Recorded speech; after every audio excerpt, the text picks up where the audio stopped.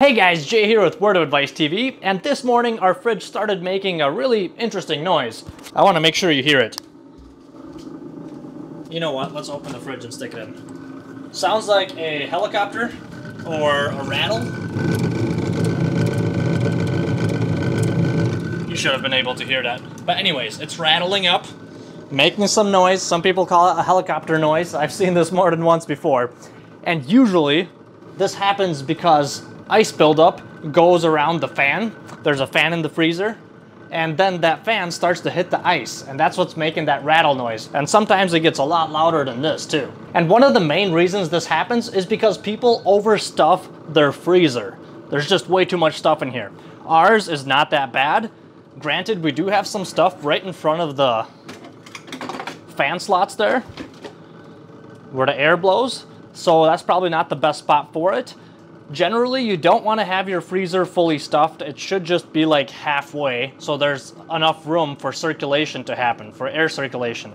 But anyway, this rattle will not do. So the first thing I'm going to do is just pull everything out of the freezer. And if you have another fridge, it's great to be able to just put everything into the other fridge.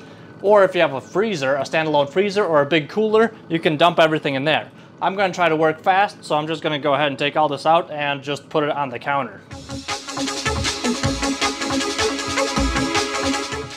Okay, so I got all the stuff out, and man, this sound, it sounds like a cat purring, but a lot louder. But it's okay, we're gonna get rid of this sound. My wife really doesn't like it. Look at that, we're starting to get some water leak. A little bit of water leakage. By the way, you might wanna have a towel handy. I'll explain a little bit later why. So, we got all the stuff out. At this point, you have three options. Option one would be to just take everything out of the freezer and the fridge, put it somewhere else, or if it's winter outside, maybe you could just throw it in the snow, and just unplug the fridge for a full day. This is where you would need the towels.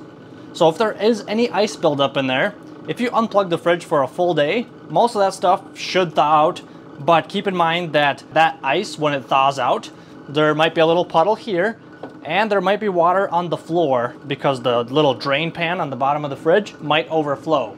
That's why you might need some towels to put on the floor under your fridge. And if you have hardwood floor, that can make the hardwood floor bubble up. So do be careful with that. Option two is to just take a hair dryer and start hair drying the freezer from the back wall. See these grates right here?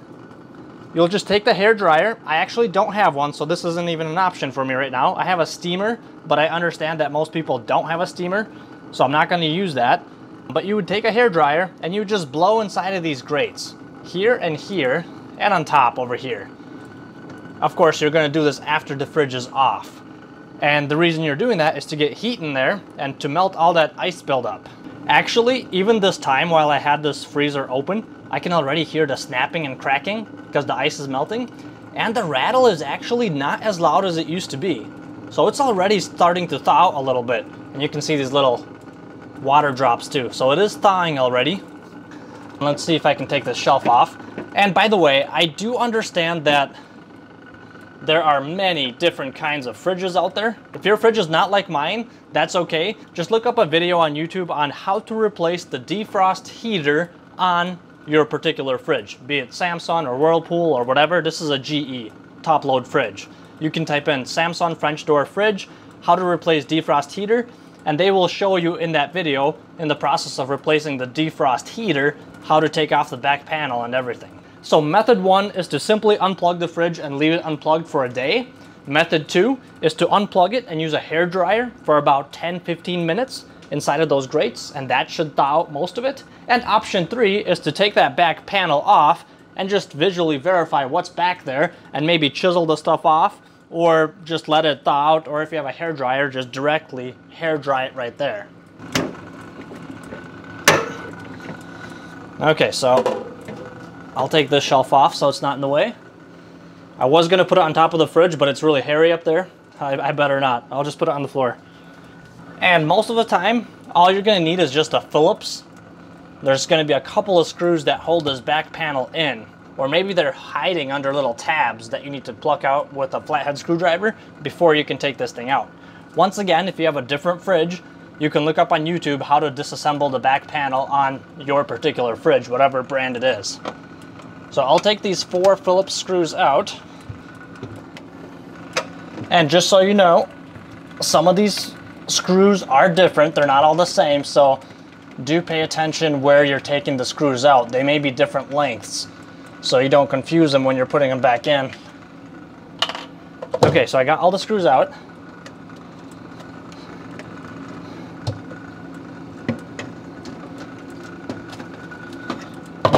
Gonna try to pull this off first.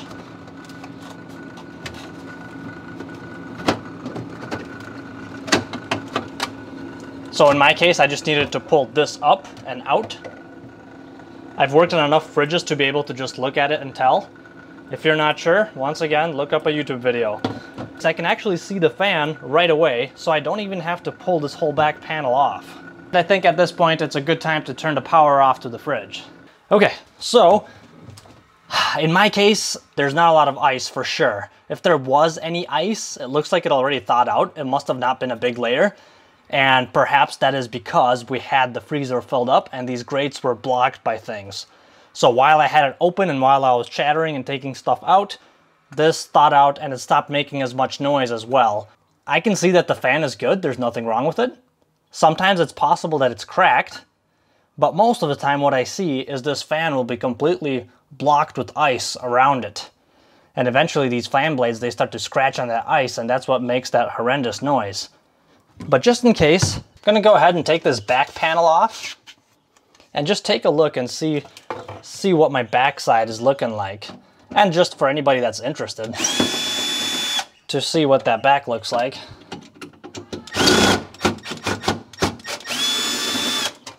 We have the evaporator coil in the back.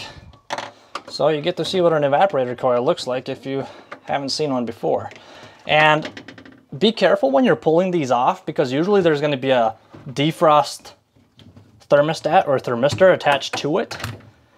In my case, I'm pretty sure it's going to be on this side be behind this plug. So I'm not going to take this out all the way. I'm just going to swing it out like this. Just so we can look inside. Okay. No, there was no, there was nothing attached. So actually this whole panel comes off.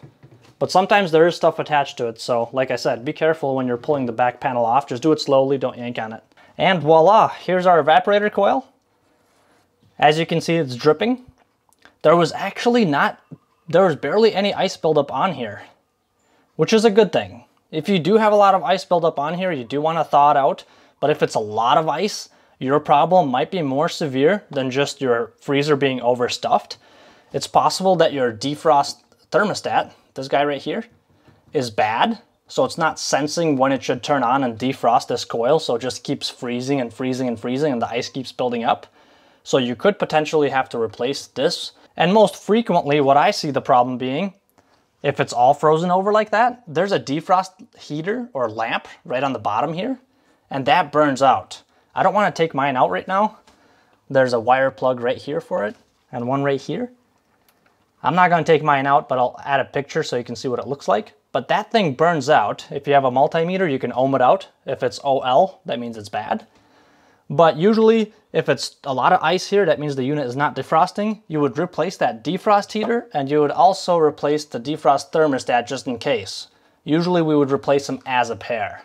But if there's not a ton of ice and there's just some ice buildup around the fan, then of course just defrosting around the fan and getting that ice out of there should be enough and then just stop stuffing your freezer. By the way, if you're using a drill like I am right now to put all the screws back, make sure you turn down the drill speed or the torque to the lowest setting so you don't strip any plastic out. All right, so I got it all back together. Now I'm going to turn it back on and see if our noise went away. All right, we're back in business. Let's take the mic off again.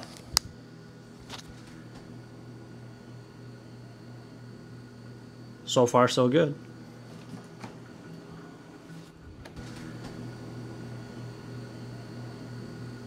Very nice. This sounds like what it used to sound like. Good, good. I'll be right back. I need to put all this stuff back in really quick. It's already starting to melt. Okay, so I got everything back in, and even though this looks stuffed, it's basically pulling air in from the bottom grates and it's pushing it out from the top ones right there. So I actually left a space right here so the air can circulate. So there is a space here, and this freezer is actually not that big. Um, and I completely left this one open right here. So the ice trays are on either side, but this is fully open. So this really is about as full as you want to have a freezer be. You don't want to be, you know, crammed up to here and then everything stuffed into here, because then for sure you're going to have a little freezing over problem. I should probably close my fridge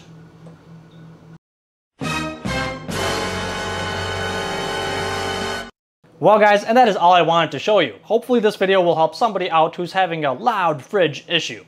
And there is one last thing that I forgot to talk about. If you're gonna use a hair dryer, first of all, don't get too close to the plastic if the walls or the backside is made out of plastic. If you get too close to it, that can warp and bubble up.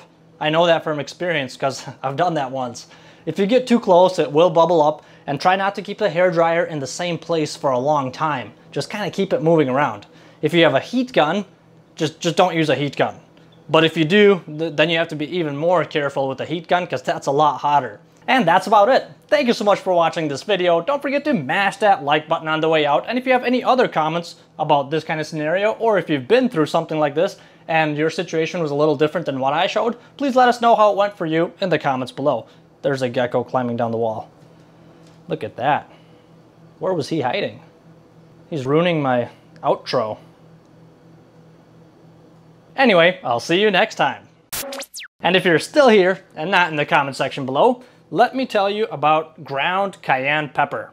My sister just shared this trick with me recently and I've tried it a couple times so far and it's been amazing. So let me back up a little bit. This is what she said. When she went to the ocean, she cut her foot on a rock and it took her about a month for that cut to heal up because you know she kept walking on it and it started getting infected and yellow and nasty stuff. You know, it took forever to heal up. Second time around, she cut her foot again, but what she did is she put a bunch of this cayenne pepper on that wound, and she said that that cut healed up in about three days. So here's the secret about cayenne. It works as a natural painkiller, so your wound is not going to be throbbing as much. It's a natural disinfectant, and it actually does not burn. Contrary to what you would think, you would think that would be burning that wound or your cut, but it doesn't burn much at all. It's anti-inflammation, so the cut or the wound does not swell up as much, and the best part about it, it stops the bleeding.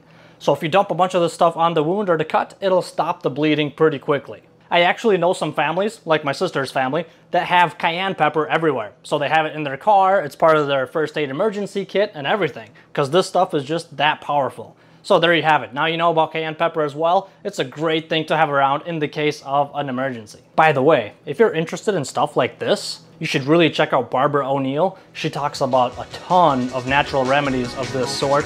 Very interesting lady.